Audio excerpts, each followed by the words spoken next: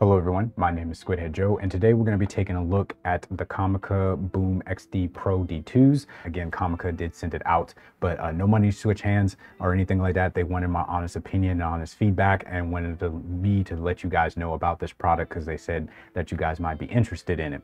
I have worked with Comica in the past. I did their ADCaster C2 from a user point of view. I'll leave that review down in the description and something that I purchased with my own money was the Comica VM30, which is overhead wireless live uh, shotgun microphone or whatever. That's really good. that I normally use for these types of videos now, um, but I'll leave that review down in the description as well. This is going to be a the white variant. There is a black variant out there, but this is going to be a 24-bit uh, audio wireless lavalier system before you go, I know there's people out there that like, if it's not 32 bit, I don't want it. But this actually has a safety track that you can record in. And what that's going to do is be able to save the audio just like you can with 32 bit float. But again, it's still going to be 24 bit float. But what it does, that means if you set the gain on the actual devices to like 12 dB, it's going to record a safety track that's negative 6 dB. So whatever audio level you set it up as far as dB, it's still always going to be negative 6 of that loud dB. So that means if something loud happens or you audio peaked for whatever reason, you'll still have that backup audio um, in that safety track. And all you have to do is plug this up to the PC, grab the audio file because it's going to be recorded in mono and then just, you know, mirror that audio wherever so it plays out of both the left and right. So it'll save you the headache of having to go back and re-record that audio. Uh, maybe for whatever reason you can't get that client back or, you know, that person back or, you know, maybe that moment is gone or wherever and you can never re-recreate it. Um, you can always do that. So what it's going to do is continuously record uh, for two hours. After that two hour mark, it will go ahead and create a new file and continue to record by itself. Uh, what this is going to allow you to do is to record up enough files or whatever for a 24 hour period because it has eight gigabytes of, uh, I would say, storage capacity on the actual transmitters itself. Um, so that is good. Uh, the only cons or wherever of the actual device itself, in my personal opinion, is that these screens are fingerprint uh, print magnets. There are it's it's going to be the way it is. Um, other than that, when you click the buttons or wherever on the actual transmitter itself, if you're using the top of the microphone or wherever to record your audio, anytime you click any of the buttons, especially that mute and unmute, that's going to be transmitted through the microphone, uh, depending on the actual, uh, I would say dB that you're adding to it or wherever. So that's something you might want to keep in mind when you're recording and stuff like that. So you might want to just keep on using the lavalier system. Um, the other thing is, is that lavalier systems, if you rush, ruffle your clothes, or you're not wearing the appropriate apparel to, you know, record with lavalier systems and stuff like that, you're going to have to deal with that rustling and stuff as well in your audio. So again, it might be smart to have that safety track uh, just in case, um, I would say turned on or wherever again, the clamps on the back are really, really good. The wind muffs are really good. I think obviously the audio sounds really, really good. Um, here you go. This is the audio with, you know, no EQ or anything like that. I've been having a fan going on in the background on level four. It's about an arm's length away from me. I'm gonna go ahead and turn it up to level eight. This is what it sounds like, obviously with the lavalier system. And again, this is what it sounds like with level eight with the EQ turned on for the actual system. So we're gonna go ahead and bring it back down to level four. I'm gonna go ahead and test this transmitter. So again, this is the way it, sounds with the EQ. And then I'm gonna go ahead and turn off the EQ so you can hear the audio. This is what it sounds like with the fan on level four. I'm gonna go ahead and turn it up to level eight. This is what it sounds like with level eight uh, from the actual fan. And we're gonna turn it back down to level four. And then we're gonna turn back on the EQ. And I'm gonna go ahead and talk about, I would say, obviously the wireless lavalier system. You can have it like this. You can have obviously the lav- lavalier microphone. The lavalier system in the microphone is really really nice and we'll get to that in a second.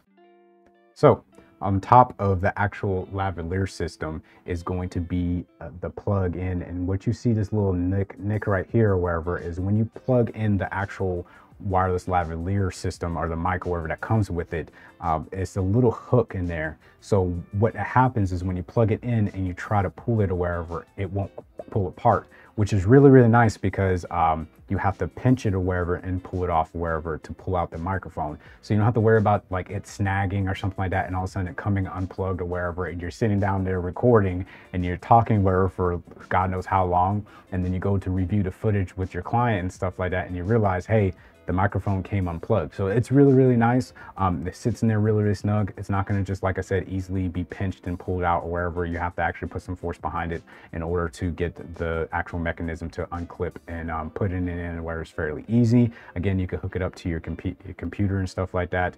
Again, I talked about the point, the pain points of actually clicking the microphone, uh, the buttons or wherever on the actual sides of the transmitters and that getting transmitted into it if you're not using, if you're using the built-in microphone and not the wireless lavalier uh, microphone that or the PEL mic that comes with it.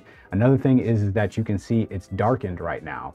So if I click the record button, it's not going to record. It's going to wake up. So anytime that you want to record, mute the transmitter, do something wherever, hitting any of these buttons, you're gonna have to click it twice because if it's not bright up like this, because it's gonna dim to save battery, um, just keep that in mind that always press it twice just to make sure, or at least look at it to see if it's dimmed or not or wherever. I understand why it's gonna dim wherever, or hibernate, whatever you wanna call it, to save the battery life. Um, but it's just kind of annoying that if I wanted to mute this and just going like muting to test the microphones and stuff like that, it's gonna be kind of, um, I would say in a hurry, if you're muting a mic for some reason, maybe somebody came over to talk to your guest or something like that off screen and you know, they need to mute that conversation or whatever for whatever reason. Um, and they press the button once and they think it's muted and it's not muted, uh, that can be a problem. You know what I'm saying? It could be a problem or issue. I just want to make you guys aware of it. Other than that, I think this wireless lavalier system is really, really good. Again, it's 24-bit float. It's not something that's going to hinder, I would say, content creators who are like me, who are doing stuff like this anyways, because in my personal opinion, I'm recording straight to my PC right now through my camera with the wireless lavalier system and all that stuff, wherever hooked up to the camera. And all that audio is being uh, delivered over HDMI, recorded straight into OBS. Uh, I'm not internally recording into the actual, I would say, you know, SD card or wherever. So I can easily automatically see this stuff back or wherever. But I would imagine um, having the safety track and sitting down and doing, I would say, traditional video, sitting down, you know, recording, like I said, into the SD card and stuff, having that capability to record on the device, even though you have to sync up and post. And on top of that, having that safety track, um, just in case it's a very important video for whatever reason, having those insurances and stuff like that is really, really nice. Again, it's only 24-bit float. Um, I don't really see why, you know, people outside of the professional realm of doing things are going to really need that. And on top of that, for this price point, this is going to skip, uh, like I said, a couple rungs on a ladder for content creators who are looking to get, I would say, a really good sounding audio quality lavalier system. Like I said, having that safety track, everything, in my personal opinion, it's only really missing the 32-bit float. And I would give it the, you know, more of that premium quality stuff. I would just obviously use the lapel microphone in my personal opinion because I feel like the microphone that's just built in or wherever is a little bit too um, sensitive as far as touching the buttons and stuff like that and picking up the noise or wherever um, from like the fan and everything like that. And it's just just the microphone itself but that might be something that you're that you want or wherever to have that more presence um, rather than having the lavalier microphone or wherever. It's up to you what you want to do, but having the capability, having it all in the kit, having everything that you need uh, to ready to go and stuff like that. And again, for uh, I would say decently priced microphone uh, wireless lavalier system, especially having you know two, and then all the other stuff that Comica offers. Like I said, uh, different types of versions and stuff on their, I would say, Amazon page. I will leave that linked in the description, as well as this linked in the description. Both of them will be affiliate links. It just helps out the channel. But you can check out the other stuff that they have. Like I said, I've done the Comica VM30. I love that microphone or wherever. Been using it for, you know, for a few videos now, and I, I just, I'm in love with it. And then, you know, doing the ADCaster C2 and now the Boom XD. I can honestly say that um, again, Comica is killing it with the content creation stuff that people need.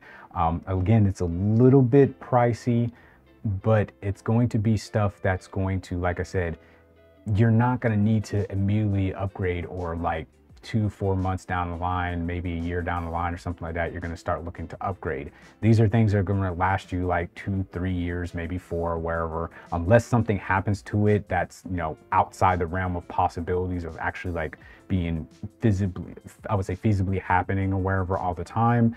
Um, you might upgrade or wherever, or maybe you realize, hey, I'm stepping up my, um, professional game or you know started doing client work whatever it may be and you need some feature sets of some other things out there then you're going to upgrade. Um, so again these are going to last you. You pick something up like this or wherever it's going to be better.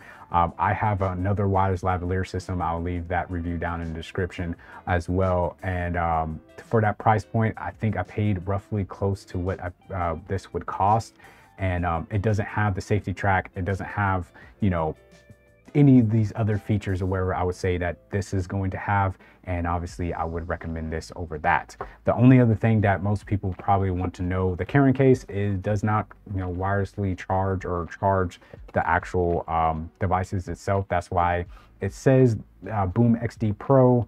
I wouldn't really call it Pro. I would just call it the Boom XD D2s or D1s or wherever um, because the reason why it would be pro is if it had the charging case capability from the case itself and on top of that having that 32-bit float or wherever with that safety track this just has the feature sets of something similar to pro but it's just in my opinion not at that level yet but it's still the wireless lavalier system that I would highly recommend.